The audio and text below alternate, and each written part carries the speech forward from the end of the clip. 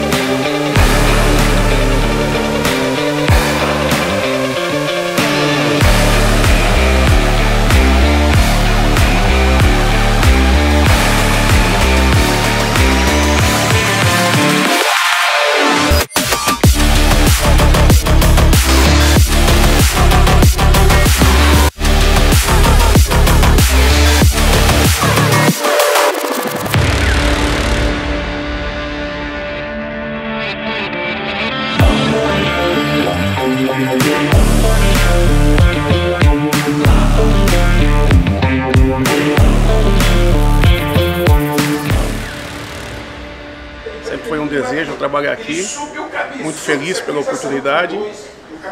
É um elenco que já vem é, de uma campanha bastante interessante na Série A, né?